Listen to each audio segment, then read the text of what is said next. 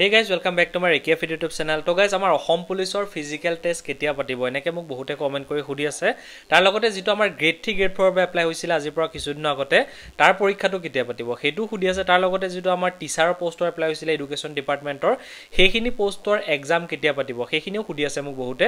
কাৰণ কিয় বৰ্তমান সময়ত বহুত ল'ৰা ছোৱালীয়ে প্ৰেক্টিচো কৰি আছে বা কিছু সংখ্যক ল'ৰা ছোৱালীয়ে প্ৰেক্টিচ বাদ দি দিলে। তো বহুতে মোলৈ কমেণ্টো কৰি আছে যে আমাৰ ফিজিকেল টেষ্ট কেতিয়া পাতিব ৰিটেন টেষ্ট কেতিয়া পাতিব? এইখিনি কথা সুধি থকা এটা কাৰণ আছে। কাৰণ কিয় বৰ্তমান সময়ত ইলেকশ্যন আছে। আপোনালোকে সকলোৱে গম পায় যে ইলেকশ্যনৰ কাৰণে চি এম ছাৰে বা আমাৰ যিখিনি মানে ইলেকশ্যনৰ পলিটিচিয়ান আছে সেই পলিটিচিয়ানসকলে যেতিয়া তেওঁলোকৰ মিটিঙত যায় সেই মিটিঙত গৈ পেলাই তেওঁলোকে যিবোৰ ভাষণ দিয়ে সেই ভাষণৰ মাজতে আমাৰ এই যিবোৰ ইণ্টাৰভিউ কথাবোৰ আনে চ' সেইবোৰ যিহেতু বহুত ল'ৰা ছোৱালীয়ে চাই থাকে বা ইউটিউবতো চায় বা নিউজতো চায় সেই চোৱাৰ ফলত তেওঁলোকে কমেণ্ট কৰি থাকে বা তেওঁলোকে জানিব বিচাৰে যে আমাৰ ফিজিকেল টেষ্ট কেতিয়া পাতিব বা আমাৰ ৰিটেন টেষ্ট কেতিয়া পাতিব সেইখিনি বস্তু হয়তো তেওঁলোকে জানিব বিচাৰে। সেইসকল ল'ৰা ছোৱালীয়ে বেছিকৈ জানিব বিচাৰে যিসকলে নিজৰ নিজৰ ব্যস্ততাত লাগি থাকে এইবিলাক ইমান এটা চাব সময় নাই।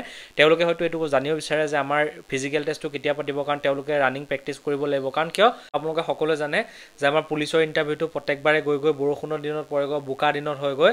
সেইকাৰণে বহুত ল'ৰা ছোৱালীয়ে সুধি আছে যে আমি প্ৰেক্টিচ কৰিম নে নকৰিম বা কেতিয়া প্ৰেক্টিচ কৰিলে আমাৰ ইণ্টাৰভিউটো কেতিয়া পাতিব এনেকৈ বহুতে কমেণ্ট কৰি সেইকাৰণে সুধি আছে। চ' মই আপোনালোকক ক'ব বিচাৰিছোঁ যিহেতু বৰ্তমান সময়ত ইলেকশ্যন আছে সকলোৱে গম পায়। এই মাহতে ইলেকশ্যন হ'ব সকলোৱে গম পায়। ইলেকশ্যন যেতিয়া হয় তেতিয়া আমাৰ কোনো ধৰণৰ ইণ্টাৰভিউ নাপাতে কোনো ধৰণৰ এক্সাম নাপাতে কাৰণ কোৰ্ট অফ কণ্ডাক্ট লাগি যায়। চ' তাৰ ফলতে আমাৰ কোনো ধৰণৰ এক্সাম নাপাতে কোনো ধৰণৰ মানে কোনো ধৰণৰ পৰীক্ষা আমাৰ নাপাতেই। যেতিয়ালৈকে ইলেকশ্যন হৈ ইলেকশ্যনৰ ৰিজাল্ট কমপ্লিট দি নাযায় তেতিয়ালৈকে কোনো ধৰণৰ এক্সামো নাপাতে কোনো ধৰণৰ ফিজিকেল টেষ্টো নাপাতে। যিহেতু ল'ৰা ছোৱালীবিলাক কনফিউজনত আছে ন সেইকাৰণে মই এইটো ভিডিঅ' বনাই আপোনালোকলৈ কৈ দিলোঁ। যিসকল ল'ৰা ছোৱালীয়ে পুলিচত এপ্লাই কৰিছে যিকোনো পষ্টত আৰু এজনী ছোৱালীয়ে মোক কমেণ্ট কৰিছে দাদা মোৰ যেতিয়া বয়স আছিলে তেতিয়া মই পুলিচত এপ্লাই কৰিছিলোঁ কিন্তু বৰ্তমান মোৰ বয়সটো অলপ বাঢ়ি গ'ল। মানে পুলিচত জেনেৰেলি যিটো বয়স লাগে সেই বয়সত থাকি মোৰ বয়সটো অলপ বাঢ়ি গ'ল।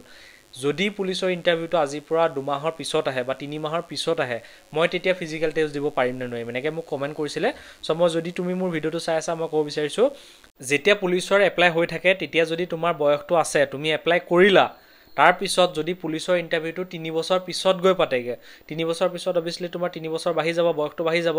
কিন্তু তেতিয়াও তুমি ইণ্টাৰভিউ দিব পাৰিবা। কাৰণ কিয়? তুমি যেতিয়া বয়স আছিলে তেতিয়াই যিহেতু পুলিচত এপ্লাই কৰিছা সেইকাৰণে তুমি পুলিচত এপ্লাই কৰিব পাৰিবা। মানে পুলিচৰ ইণ্টাৰভিউ দিব পাৰিবা। ঠিক আছে? পুলিচৰ আমাৰ যিটো ইণ্টাৰভিউটো পাতিব সেইটো এতিয়া নাপাতে। জুনত পাতিব আমাৰ এপ্ৰিল। এইটো এপ্ৰিল চলি আছে। চ' এপ্ৰিল মাহতে আমাৰ ইলেকশ্যন হ'ব। ইলেকশ্যন হৈ পেলাই ৰিজাল্ট দিওঁতে দিওঁতে এপ্ৰিল মে' পাবগৈ। মে'ৰ পিছত জুনতহে আমাৰ পুলিচৰ ইণ্টাৰভিউ হ'ব। তেতিয়াহে আপোনালোকে ফিজিকেল টেষ্ট যিটোবোৰ পাতিবলগীয়া আছে সেইবোৰ পাতিব। তাৰ লগতে যিবোৰ এছ আই পষ্ট আছিলে তাৰ ৰিটেন টেষ্ট পাতিব। আৰু তাৰ লগতে যিটো আমাৰ গ্ৰেড থ্ৰী গ্ৰেড ফ'ৰ আছিলে সেই গ্ৰেড থ্ৰী গ্ৰেড ফ'ৰ এক্সামটো জুন জুলাইৰ ভিতৰতে আপোনালোকৰ পাতিব।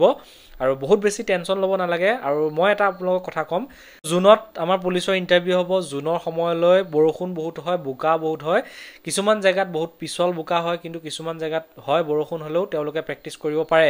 কিন্তু কিছুমান জেগা এনেকুৱা আছে য'ত তেওঁলোকে প্ৰেক্টিচো কৰিব নোৱাৰে। সেইকাৰণে মই আপোনালোকক কৈ আছোঁ যে প্ৰেক্টিচটো ৰাখি থাকক। যেতিয়া আমি ঘপকৈ গম পাই যাম যে এমাহৰ পিছত বা পোন্ধৰ দিনৰ পিছত আমাৰ ইণ্টাৰভিউ আছে তেতিয়া যেতিয়া আমি ঘপকৈ গম পাই যাম ন তেতিয়া আমি প্ৰেক্টিচ কৰিব নোৱাৰিম। হয়তো আমাৰ গ্ৰাউণ্ডটো ঠিক নাথাকিব বা আমি ভালকৈ প্ৰেক্টিচ কৰিব নোৱাৰিম এনেকুৱা বিভিন্ন ধৰণৰ চিটুৱেশ্যন আহিব। সেইকাৰণে মই আপোনালোকক এইটোৱে ক'ম যে পুলিচৰ বাবে যদি আপোনালোকে এপ্লাই কৰিছে যদি চাকৰি কৰিম বুলি আশা আছে বা ভাবি থৈছে তেনেহ'লে তাৰ বাবে ডেইলি ৰাতিপুৱা সময়ত এবাৰ এবাৰ পুলিচৰ বাবে ৰানিং কৰক প্ৰেক্টিচ কৰক। বহুত বেছি হাৰ্ড প্ৰেক্টিচ কৰিব নালাগে খালি বডিটোক ৰিলেক্স কৰি ৰাখক যাতে ইণ্টাৰভিউ আহিলে ধুনীয়াকৈ আমি পাছ কৰিব পাৰোঁ সেনেকুৱা কৰি ৰাখক। তাৰ লগতে ৰিটেনৰ বাবে ভালদৰে পঢ়া শুনা কৰি থাকক। তো আগতে ল'ৰা ছোৱালীবিলাকে ফিজিকেলৰ বাবে বহুত বেছি প্ৰেক্টিচ কৰে কিন্তু ৰিটেনৰ বাবে ইমান কষ্টই নকৰে। তাৰ ফলত কাট অফটো বহুত কম যায়। কিন্তু আজিকালি এনেকুৱা হৈছে ফিজিকেলৰ বাবেও প্ৰেক্টিচ কৰে তাৰ লগতে ৰিটেনৰ বাবেও বহুত বেছি প্ৰেক্টিচ কৰে বা পঢ়া শুনা কৰি থাকে বা কোচিঙত লয় ক'ৰবাত কোৰ্চ কৰে বা এনেকৈ বিভিন্ন অনলাইন মাধ্যমত আজিকালি পঢ়া শুনা কৰিব পাৰি। চ' সেনেকৈ বহুত ল'ৰা ছোৱালীয়ে পঢ়া শুনা কৰি থাকে সেইকাৰণে এইবাৰ হয়তো কাট অফটো বেছি যাব পাৰে। সেইকাৰণে যদিহে পুলিচত জইন কৰিম বুলি ভাবিছে ডেইলি প্ৰেক্টিচ উইথ পঢ়া শুনা আৰু যদি গ্ৰেড থ্ৰী গ্ৰেড ফ'ৰত এপ্লাই কৰিছে ডেইলি পঢ়া শুনা কৰি থাকক। কাৰণ যদি আমি ভালকৈ পঢ়া শুনা কৰি থাকোঁ সেই চিলেবাছ একেখিনিয়ে। পুলিচৰে হওক বা গ্ৰেড থ্ৰী গ্ৰেড ফ'ৰে হওক বা আন আন যিবোৰ এক্সাম আমাৰ হৈ থাকে কম্পিটিটিভ এক্সামবোৰ তাৰ যিবোৰ কুৱেশ্যনবোৰ আহে প্ৰায় চিমিলাৰ কুৱেশ্যনে আহে। সেইকাৰণে আপোনালোকে যদি এটা কাৰণে পঢ়া শুনা কৰি থাকে ন গোটেইকেইটাত আপোনালোকৰ কাম আহি যাব ঠিক আছে?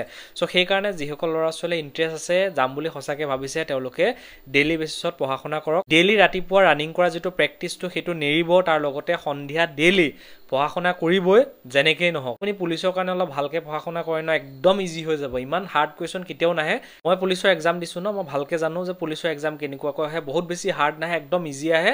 আপোনালোকে চিন্তা কৰিব নালাগে ভালদৰে পঢ়া শুনা কৰি থাকক দেখিব কুৱেশ্যন পেপাৰ একদম ইজি লাগিব। ঠিক আছে? তো গাইজ আপোনালোকৰ কনফিউজন যিখিনি আছিলে নিশ্চয় ক্লিয়াৰ হৈ গ'ল। আপোনালোকৰ পুলিচৰ আৰু গ্ৰেড থ্ৰী গ্ৰেড ফ'ৰ যিটো এক্সামটো সেইটো জুন বা জুলাইৰ ভিতৰত আপোনালোকৰ পাতিব। তাৰ লগতে যিটো এডুকেশ্যন ডিপাৰ্টমেণ্ট আছিলে সেই এডুকেশ্যন ডিপাৰ্টমেণ্টৰ যিটো এক্সামটো সেইটো মানে জুলাই আগষ্ট মানতহে পাতিব। ঠিক আছে? তো গাইজ যদি মোৰ ভিডিঅ'টো ভাল লাগিলে ভিডিঅ' লাইক কৰি চেনেলটো ছাবস্ক্ৰাইব কৰিব। ভিডিঅ' চাবে ধন্যবাদ। জয় হিন্দ।